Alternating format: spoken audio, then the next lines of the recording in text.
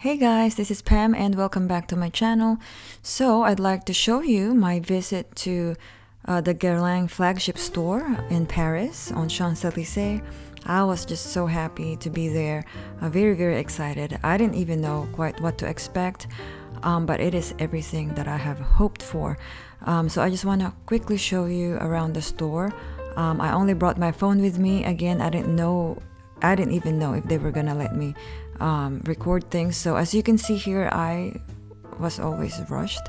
Um, so I'm sorry about the video quality, uh, but feel free to kind of pause and see what I'm trying to show you here uh, really quickly. Um, because even though I asked for permission, sometimes they just kind of like look at me weird. So yeah, anyway, this is what we got, but I'm still happy to show you. This is the upstairs portion where they have a beautiful display of the arts and materials collection, which they have throughout the store. Um, nobody was really there upstairs. Um, so I was just able to enjoy myself, uh, look around, take some videos and photos while I was waiting for Miss Julia. Now she was the sweetest and the kindest. Um, yeah, she was the one who helped us throughout our entire visit there. Um, and as you can see on the next clip i didn't really uh, record her face while she was talking but eventually uh, when i asked her if she was okay she said it's okay um, to record her. So maybe you'll see her face uh, at some point during the video i'm not quite sure. About this uh, very uh, wonderful bottle is it was first created for the opening of the shop. Ah. Just the part downstairs that was opened in 1914. And it should have opened uh, two years before, you know, because in 1914 it was not a good time, but nevertheless. Yes. Uh, uh, we had, uh, there were delays. so like 1916 No, no, no, no. It should have opened in 1912, and Oh. we opened in 1914. 14. Oh my 14, goodness. Yeah. For the beginning Yeah. of the war, so it's, it's Yeah. not uh, the, the best period. But nevertheless, we opened in 1914, and for the opening, uh, Guerlain family wanted to have a special bottle to celebrate Yeah. the first opening in Paris. So that was this shape. It's called le flacon tortue, the turtle, you know. It looks like a turtle. And Ah, at the time it now. was crystal, in crystal, and you had a very special perfume in it called Le Parfum des Champs-Élysées that we don't carry anymore nowadays. Mm-hmm. And it was also uh, quite funny because uh, family had a, a, um, great uh, sense of humor Mm-hmm. um, because the turtle was just to remind of the delay, you know? The- because the turtle is an animal that goes very, very, Very slow, slow, you know? yeah. That's uh, so this was in crystal. you Okay. Uh, it was uh, and this is the original right no, it's No? not. It was not in that size. It was not. used to be in smaller size. smaller okay okay Thank But nevertheless, we, you know, uh, since Guerlain is a very old French company since um, that has been existing since 1828, so almost uh, 200 years. Okay, and uh, since the beginning up to now, we had about 1,100 different scents that were created. oh my god, that's a lot So it's a huge and i collection. you, you have a, um, an archive of all of that Exactly. which is where you cannot have a look at. No, No, it's uh, it's uh, preciously uh, kept by our uh, creator. Yeah. From one generation, one generation to another yeah generation. is Thierry uh, Wasser still the the house perfumer Thierry Wasser oh yes. It still is, Since, yeah? Since 2008. yeah okay Okay, so in fact, what's amazing in uh, in Guerlain's story, I should say, is that um, we had five generations of perfumers, and four of them belonged to Guerlain family. So the founder was Guerlain, remember Guerlain family, uh, whose name was Pierre-François Pascal Guerlain. The next generation was Aimé Guerlain. The third generation was Jacques Guerlain. The fourth generation was Jean-Paul Guerlain. Okay, so uh, uh, his uh, grandfather All was from Jacques. father to son to s- No, no, not necessarily, not but necessarily. in the same family. Yeah, okay. And when Jean Paul retired in 2008, then we welcome uh, Thierry, Mm-hmm. okay, uh, Thierry Wasser, who's still with us today, and he's uh, now. Is he part of the family or no? No, no. Okay. He's not a member Yeah, of the yeah, family, yeah, but uh, he worked a worked. few months with Jean Paul, and he's considered as Jean Paul's son. Okay, you know, but he's not a real member. Yeah, But he has the same uh, way to work, and uh, he's all over over the world, have, trying to get his uh, raw materials uh, that he will work with for his next creations.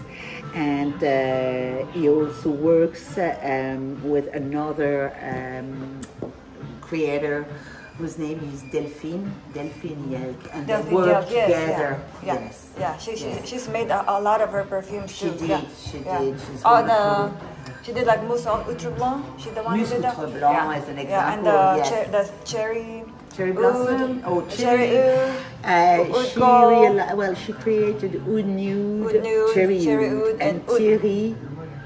Thierry created. Oud kohl. Oh, okay. I, th- I thought you did all three. But they, well, very often they- work together, but most of the time what happens is that Thierry is all over the world trying to get raw materials. Raw materials. It shows them very carefully and then he brought, bring them back, you know, and then Delphine is creating the perfume. yeah, while he's getting all the raw materials. Mm-hmm. Yeah, very nice. Thank you. Merci beaucoup. very, very, uh, very, uh, very uh, quickly. Uh, we also had special makeup. You know, the first lipstick from our brand was created in 1870. So liquid blush, uh, very first um, lipstick, very first powders, and at the time they were all presented this way Yeah. Very first skincares. There is one that was uh, crème à la fraise. It was used by Cécile Impératrice. You know, I wonder what happens if I try those creams now. It's so old. probably nothing. nothing, nothing. You have to go downstairs, okay, and it will be on the left. Okay. It's not very long. It's very very nice, and as you will see, the, the original bee bottle yes.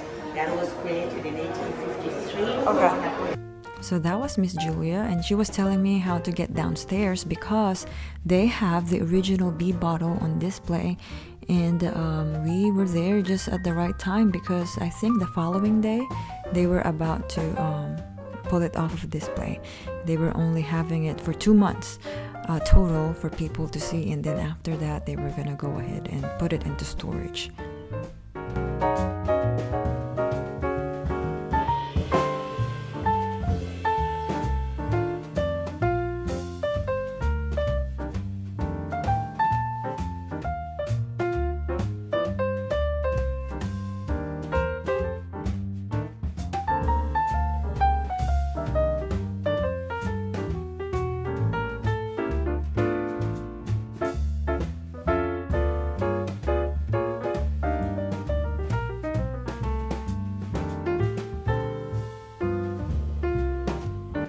So here we are. That's the original bee bottle. Uh, I'm just gonna quickly show you around the room. Um, they just have like some artworks, uh, which is super cool to look at. Um, but they have that right there at the center, the centerpiece, which is the original bee bottle. Enjoy.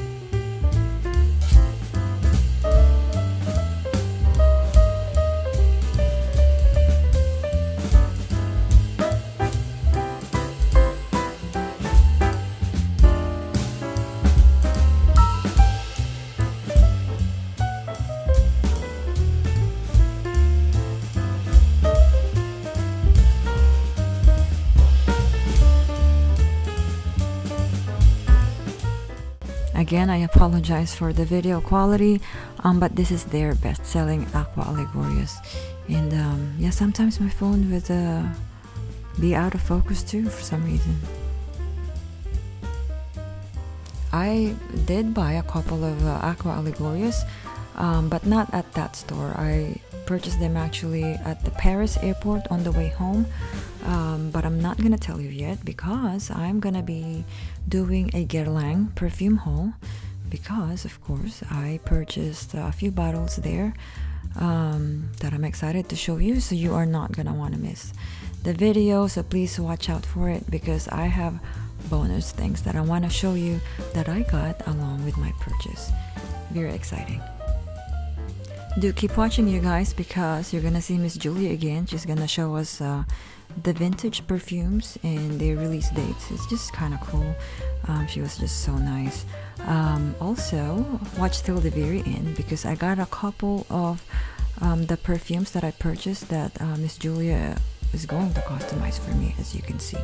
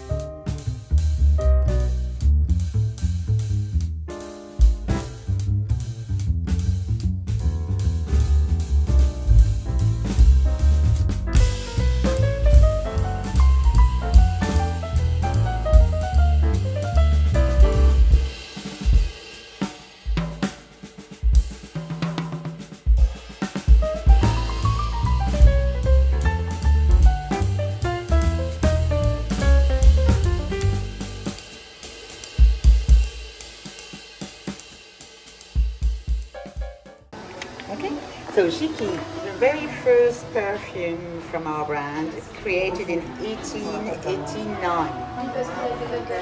Then we have another mythic one that's called Heure Bleue, up there. Heure Bleue, 1912. Mitsouko, 1919. Shalimar, probably one of the most popular, 1925. Vol de Nuit, 1933. And uh, well, the other would be, uh, I would say, uh, newer compared to those. Uh, Samsara, 1989. Jardin de Bagatelle, 1983. Never heard of that one. You also get Après L'Ondée, 1906. Nahema, 1979. Chamade, 1969. So, and uh, I guess it's okay. Liu, maybe. Liu was uh, created in 1929. And just next to Liu, Chant d'Arômes, 1962. Okay. Thank you so much for that. Lovely.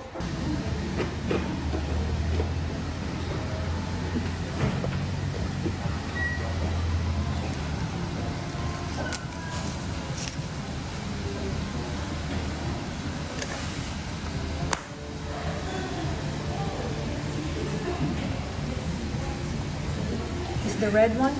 Yeah, Yeah, okay. you, you don't see it Yeah, yeah. properly, Oh, but right. it is.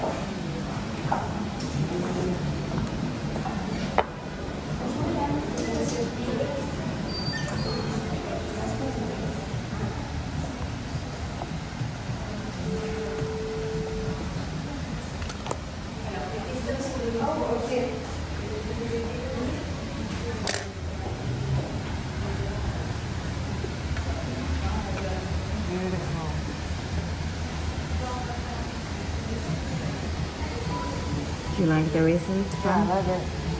Good choice. Guess so. Mm-hmm. And maybe next time for another one that could be all blue. Yeah. You know. Yeah, next one. All right. Okay.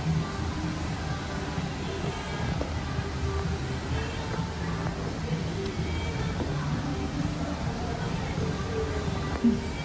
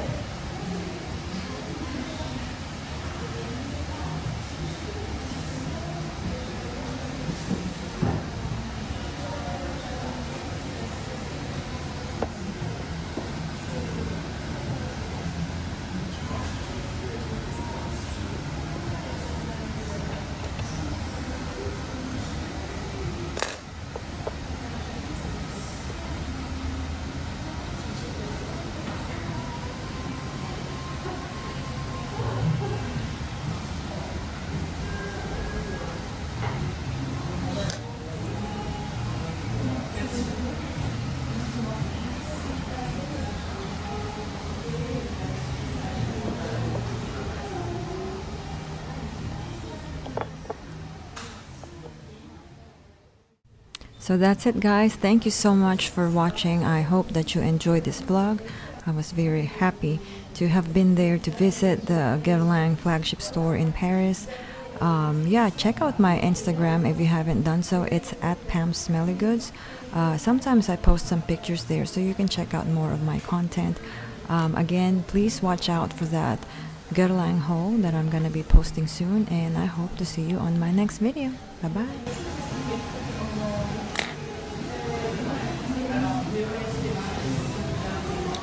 Oh, wow. Do you like the dish, I love mom? it. I love it. Okay.